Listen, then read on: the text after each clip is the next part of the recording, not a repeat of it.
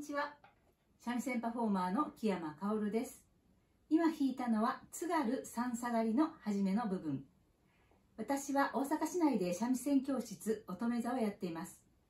今弾いた津軽三味線から民謡、長唄、羽歌、落語の寄せ林、そして沖縄の三振まで様々なコースの三味線をやっております。三味線にご興味がおありの方、ぜひ一度遊びにいらしてください。連絡先はこの下にありますので、どうぞよろしくお願いいたします。